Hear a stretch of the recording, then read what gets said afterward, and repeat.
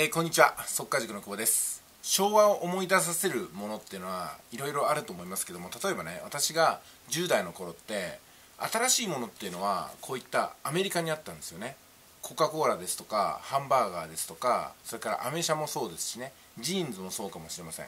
なんかアメリカの真似をしてるとなんか未来を先取りしてるっていうかねいわゆるナウイっていうねやつだったりねしてたものですけどもまあそういったものを特集してるのが昭和40年男俺たちのアメリカというこのね、え回なんですけどもこれはこれでまだ別で説明します。あとはやっぱり何といってもね昭和を思い出させるものは木造の小学校ですね。まあ、鉄筋コンクリートの小学校でも思い出すものがあると思いますけどもやっぱりね分校とかね廃校とかね、えー、そういったものになんか昭和を感じるなと思いましてこの机と椅子いかがですか？懐かしいでしょちょっとね。で小学校で使ったものがこういうふうにね特集されてる。そんな本も今はねこういうふうにコンテンツになってしまうんですよね。それから私の大好きな「男はつらいよ」は昭和の面影を知るのにはもううってつけです。そこでいいかなんですかね生活する人とか仕事とかそれから電車とかね、まあ、全てが、まあ、昭和だったなって。そういえば寅さんの仕事って敵屋じゃないですか。バナナの叩き売りをはじめとしてね。古本を街角に並べて売ったりとか。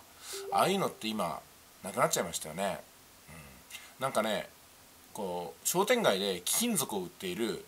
なんかパンクロッカーみたいな人も見かけなくなっちゃいましたね、えー、そして車ですね。昭和を思い出させるもの車。これよろしくメカドックに代表されるようにいろんな車スポーツカーを中心とした車がどんどん出ていってですね。そしてセダンの方はシーマ現象っていうもので絶頂を迎えます。高級車ほど売れる。そしてスポーツカーはチューニングして峠を走るみたいなねちょっと違法行為もあったんですけどもまあそれに加えて暴走族みたいなのもありましたね。広島の風景ですよね。テレビドラマでも積極的に車のシーンが取り上げられてるとかね。車という一言の中に私たちはいろんな夢やドラマを感じたものではないかなと思います。最近ではね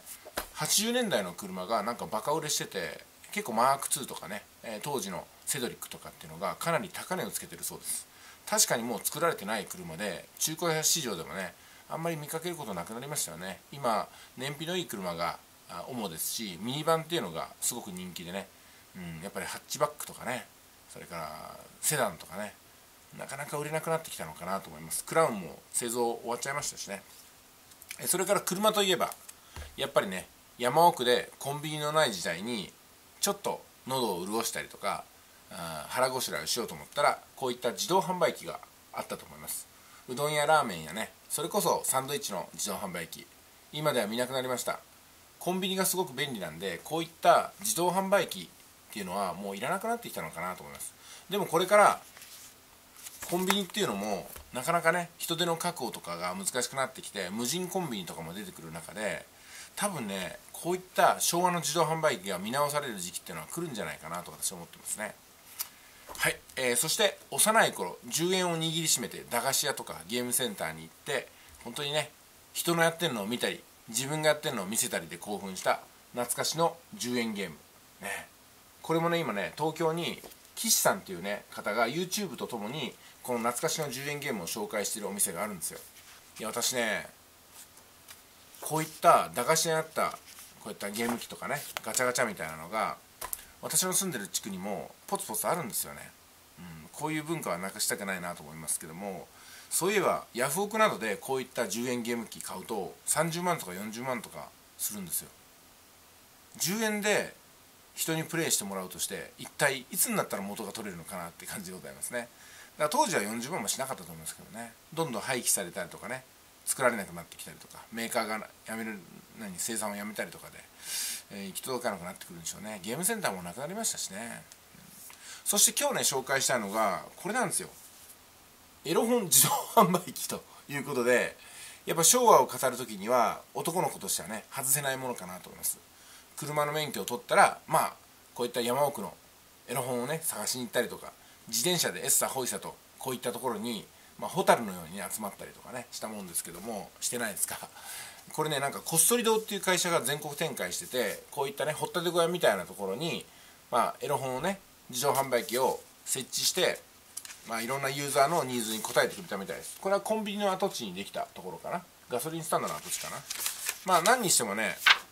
このエロ本の自動販売機っていうのはすごくね粗利がいいのと腐らないのとあとそうですね、まあ、場所も取らないですし人手もいらないですしね。いやすごくいいビジネスモデルだったんじゃないかなと思います。ただやっぱり自動販売機っていうのはその土地の所有者さんにいろいろとお願いして置かしてもらわないといけないんですよ。